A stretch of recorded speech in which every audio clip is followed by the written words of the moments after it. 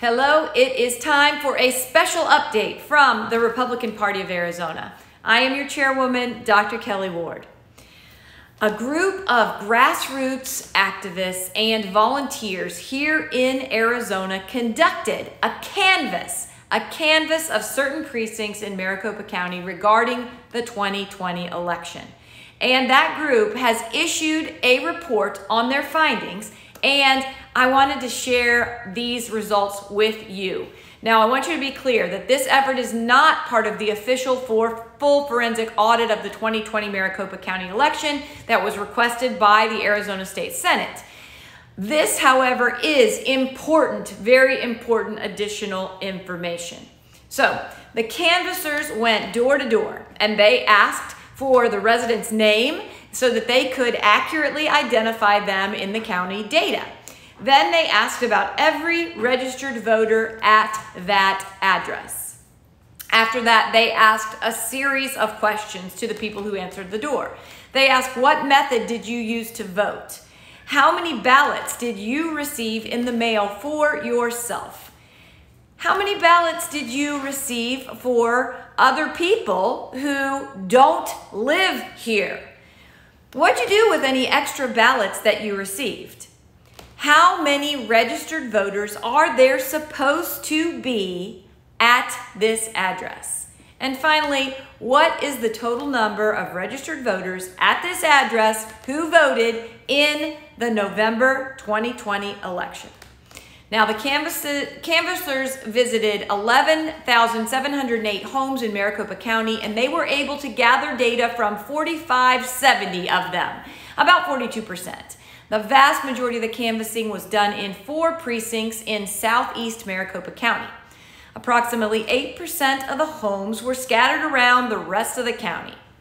Now, as many of you may know, Maricopa County is very large, and according to the county recorder, over 2 million people voted in the 2020 election. Now, here is some of what this grassroots organization found, okay? Out of 964 people in the canvass that were listed as having not voted in the election, 330 of them said that yes, indeed, they had voted. That comes out to 34.23%. Another startling statistic was of the people who were listed as having voted by mail. Of the 3,606 registered voters that were home and interviewed, 20 or 2,897 were recorded by the county as having voted by mail. Of that 2897, there were 164 mail-in voters identified by the people interviewed as unknown to the resident or having moved prior to the election registration deadline. That is 5.66% of the mail-in voters listed at those addresses. 26 people that were canvassed said they hadn't voted, but a mail-in vote was recorded for them with Maricopa County.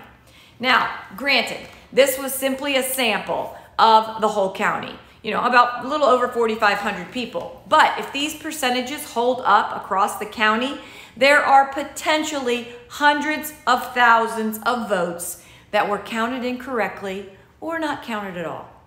Remember, many polls that are done are done by questioning 500 or fewer people, and then that data is extrapolated from those polls and, and put out there. In this case, nearly 10 times the people in typical polls were actually canvassed.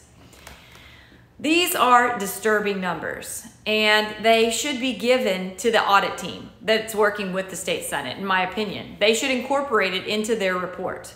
These numbers certainly deserve to be evaluated, verified, and expanded across more of the county, and possibly across the whole state. We learn more about this every single day, and we've got to get to the bottom of it. Missing voters, ghost voters, people who say that they didn't vote, but they have a vote that was recorded by Maricopa County. Completely and totally disturbing. I think we better be thinking about the possibility of decertification.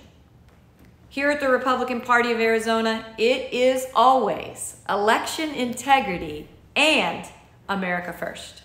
I'll see you soon.